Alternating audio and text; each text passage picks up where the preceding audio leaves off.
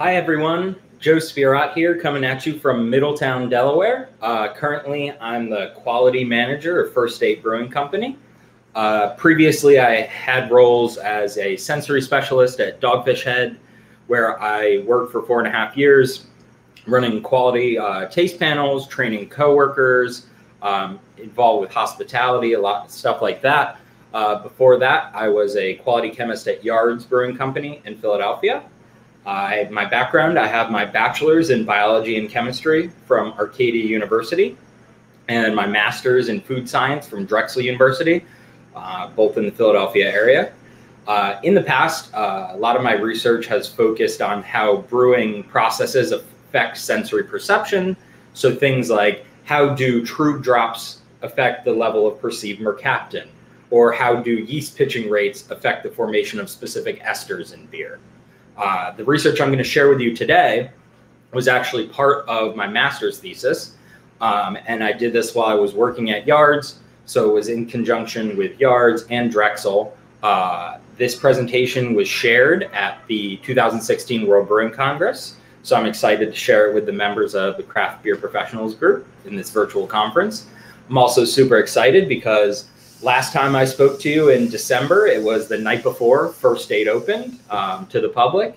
And today, very exciting, is our first can run. So it seems pretty cool that uh, every time I'm able to talk to you, there's some exciting news on the First State front, too. So let's get into it. So we all know that color has a huge impact on flavor perception. Research has shown that increased color is often paired with increased perception of intensity. We tend to think of certain colors leading to certain flavors. We expect them to taste a certain way. If you tasted something red, you may think it was cherry or apple or strawberry. Where if you tasted something yellow, you're automatically going to go and assume it's a lemon type flavor. This certainly also applies to packaging. Um, so there's tons of research done on external food packaging, the vessels that drinks are served in, coffee mugs. Um, and so that's a huge part as well as the product itself. So everyone's familiar with Starburst candy and M&Ms. When you think about Starburst, you see pink one, you think strawberry, red, cherry, yellow, lemon, orange, orange flavor. Now, opposite of that, M&Ms although you may have a favorite color of M&M, and I do admit my favorite is blue, I will pick the blue one out and eat that over any of the rest. They don't taste any different whatsoever. It's simply the color that is different. But somewhere in our brains, we are matching color with what we're perceiving and our liking of things. So the real question comes down to how does this apply to beer and the various shades of beer, from the palest straw to the darkest black? So when we initially were deciding to do research, we knew that we specifically wanted to look at color perception, but also bitterness specifically. And the reason we chose bitterness is because there was a common misconception at that time, and this was in 2016, um, that black beers would be more bitter. And this was based on historical and socioeconomic trends. Since then, things have changed a little bit, especially with IPA, hazy IPA boom and customers' tastes are definitely changing, but that's what we decided to look at then. So overall, this was a two-part experiment.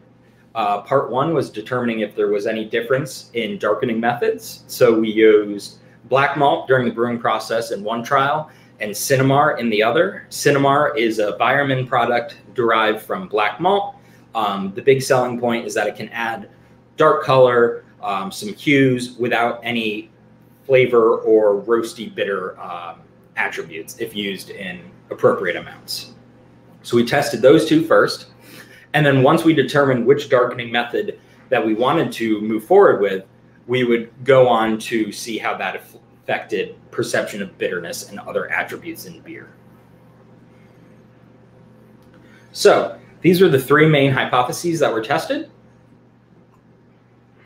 We expected that one, there would be no chemical or perceived sensory difference between darkening beer with Sinamar versus using a dark malt during brewing. Two, that a beer brewed with a darkening agent, whichever one it was chose, would not be discriminable from an undarkened beer when the color is obscured. And three, consumers in the Philadelphia area, represented by Drexel University students, staff, and faculty, would perceive this darker beer as more bitter, despite color being the only variable that was changed.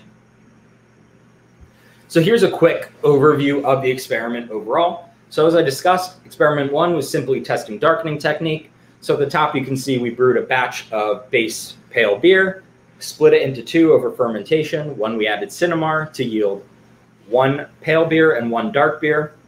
We then brewed another batch to the same exact specifications, except this time used black malt during the brewing process to yield a beer with the same color as that darkened with Sinamar.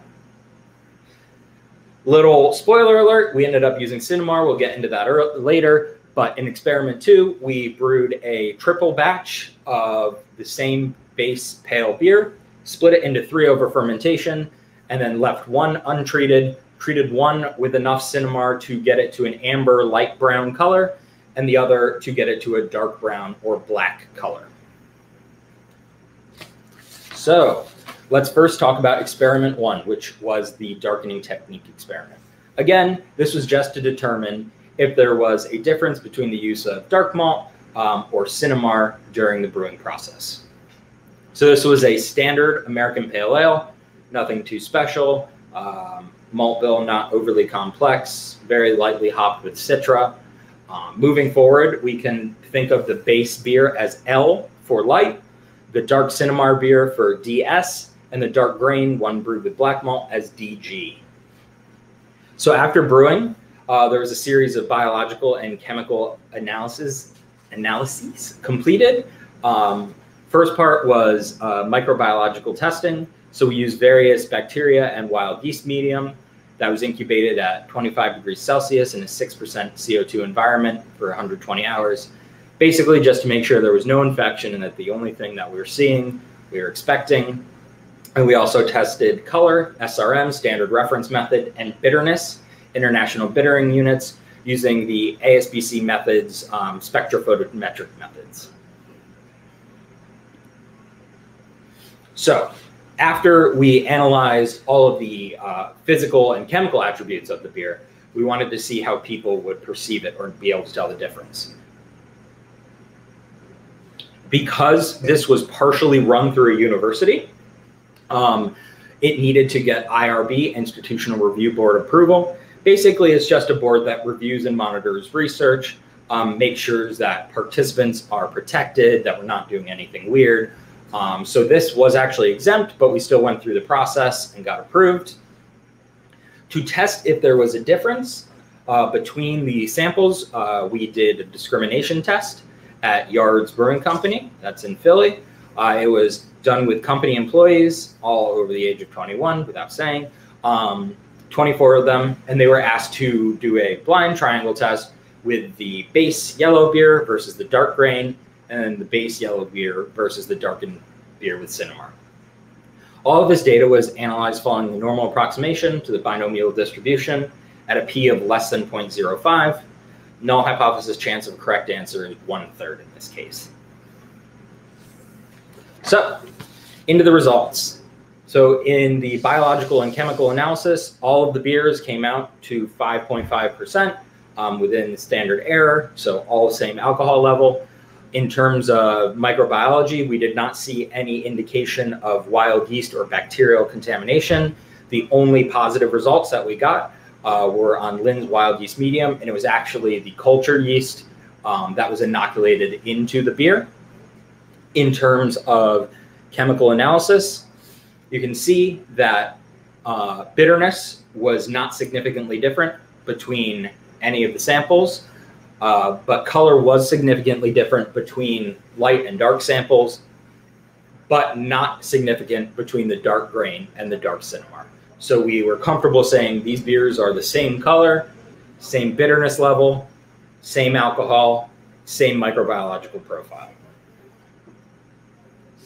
So results of the sensory, it was the 24 participants from yards, two different triangle tests, the one-tailed upper critical limit for correct decisions using the binomial distribution at one third is 13. And as you can see for the light versus the dark grain and the light versus the dark Sinamar, neither of them hit that level. So it is showing that there is a non-significant difference between the samples. So we could use either method to darken the beer, and when obscured, when people did not know that they, the beers were a different color, they were not able to tell that they were different beers. So a triangle test was used in this case versus a different type of sensory discrimination test, like a three AFC, alternative forced choice, is we don't know the exact difference between samples. So by using a triangle test, it leaves it a little more open-ended. So the initial darkening test was completed uh, to compare the two potential methods to be used later in this study. Both the use of Sinamar and the addition of black malt during the brewing process were found to effectively darken beer and remaining flavor neutral, and that's at normal use levels. So if you were to increase the amount of Sinamar, you likely would see effects, but not at the intended use level. There was no statistical significance at a p of less than 0.05 between darkening methods. And moving forward, Sinamar was selected for use throughout the color perception testing simply for its ease of use.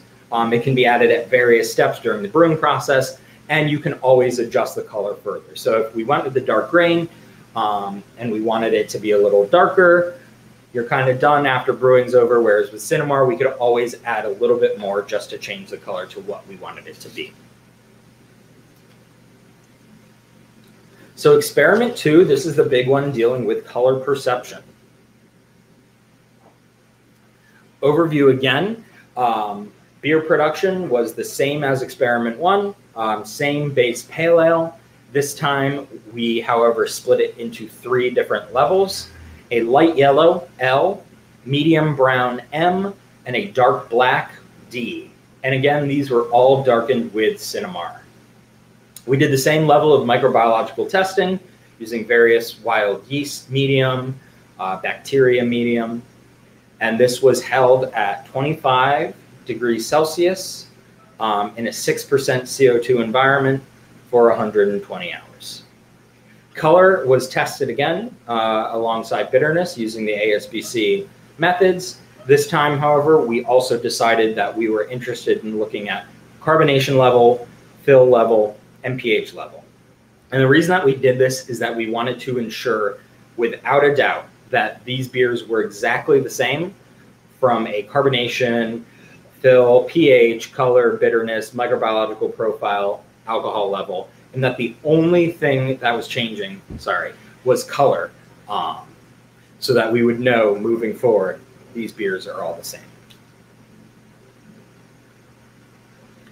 So First thing we did was a discrimination test.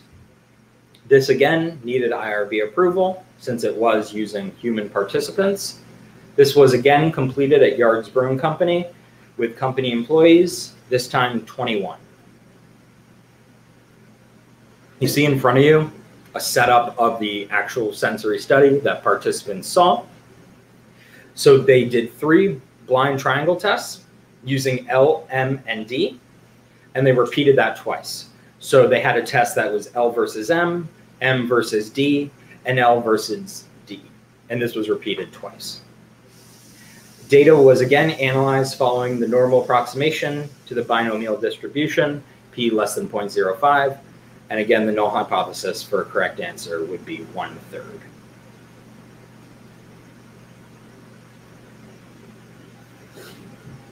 So now for the big perceptional study. So this was a consumer test, and this was done at Drexel University in Philadelphia, Pennsylvania. This was done in the academic bistro of the Drexel Hospitality Program and Food Science Program.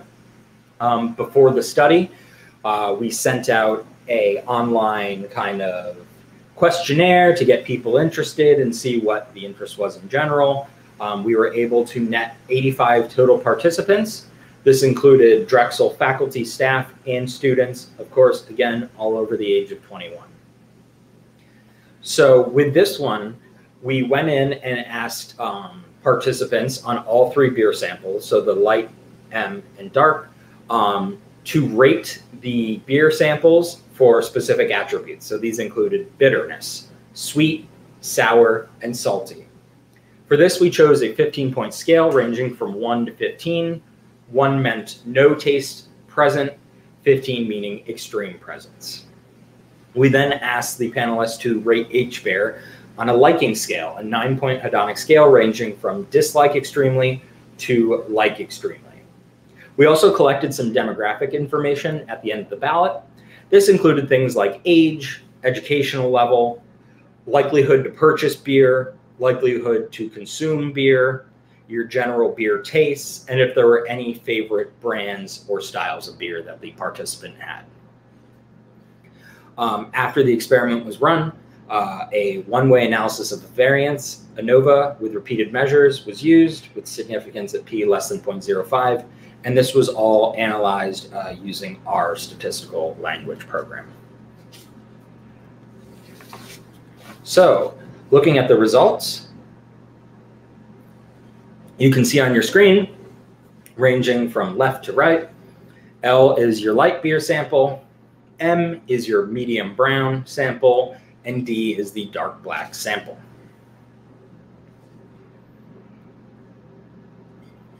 In terms of biological and chemical analysis, we again found all samples to be within 5.5%. During microbiological testing, we again saw no infection taking place, so this the only microbes present in the samples were the culture yeast. In terms of carbonation, fill height, pH, and bitterness, there was no significant difference between samples. There was, however, a significant difference in color, and that was intended. So again, this is an SRM. So our light sample was at 13 SRM, medium around 30, and dark measured around 55. So knowing that all of these samples, pretty much from a biological, chemical, physical standpoint, were exactly the same except for color, we then moved on to our sensory evaluation.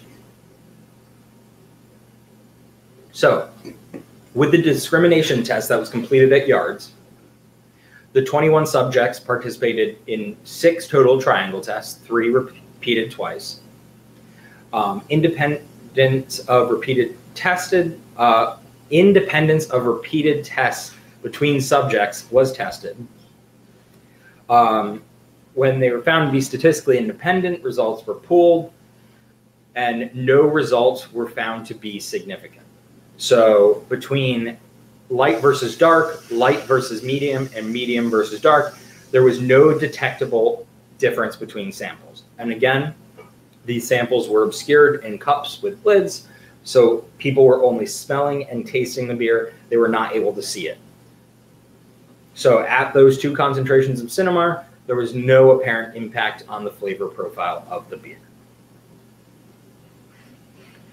Now, looking at the um, results for the study that was completed at Drexel, the consumer test, overall, there was no significant impact of color on sweet, salty, sour, or liking ratings. However, color did have a significant effect on the perception of bitterness. Interestingly enough, this was the opposite of our original hypothesis. So the light yellow beer was actually perceived as more bitter, medium less in the middle, and dark as the less bitter. And this was at P of 0.007. So this was a significant effect. So we thought that was pretty interesting. So we decided to use the demographic information that we collected and further analyze the results by breaking people into expertise groups. So this was mainly based on the rating of beer liking and beer consumption, and we decided to group them in expert levels and novice levels. So we found we had 51 experts and 34 novices. Novices being those who didn't rate their beer liking high or consumption high. Within both, um, we found that bitterness perception was affected by both expertise and beer color. So there was actually an effect between the two. So the between subjects variable being expertise was significant at P of 0.019, and the within subjects variable of color was significant at 0.007. So again, the opposite of what we expected, but fairly interesting. In general, it was noted that novice uh, participants perceive beer as more bitter, um, which makes sense. Uh, bitterness is one of those uh, tastes that people become acquired to.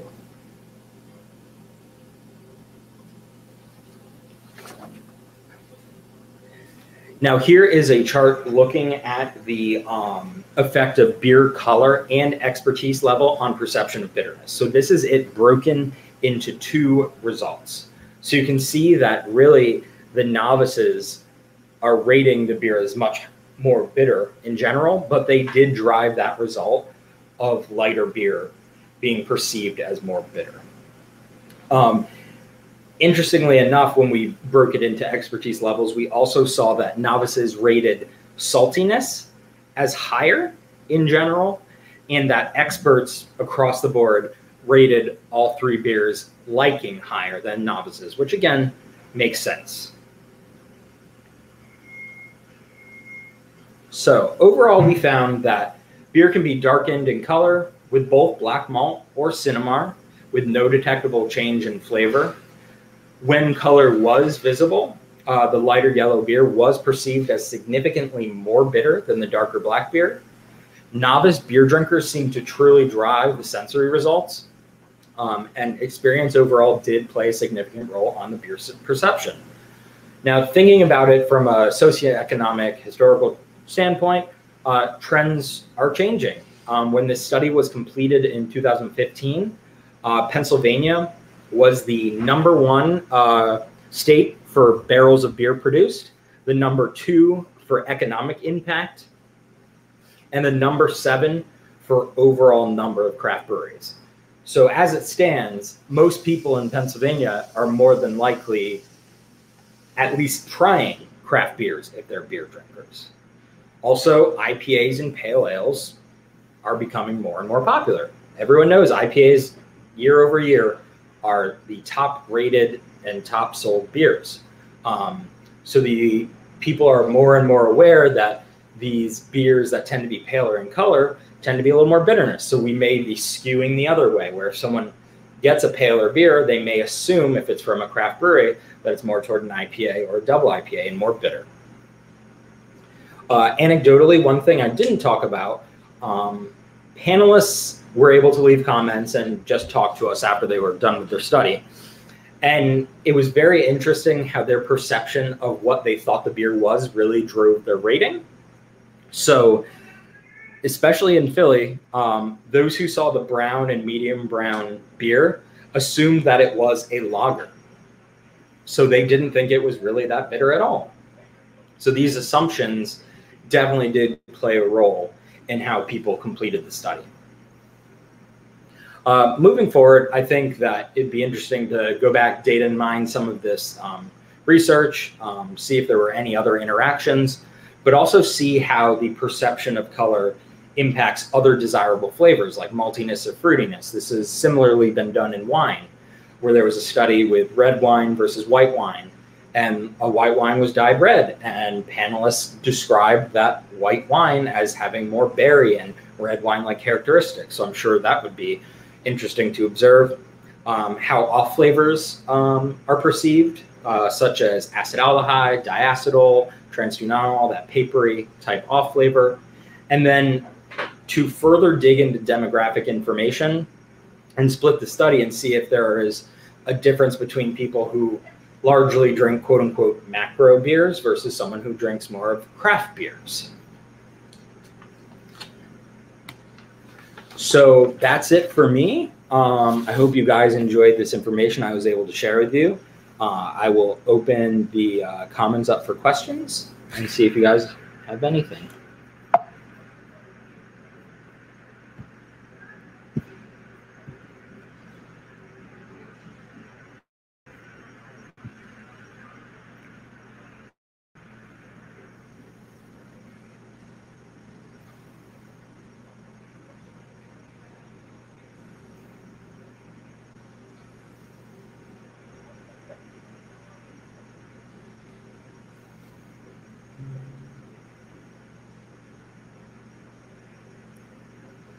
So I'm not seeing any questions on my end, um, but always feel free to leave them on the comments of the YouTube or in the uh, Craft Beer Professional group. but really happy to share some time with you guys and uh, hopefully see you again. Thanks.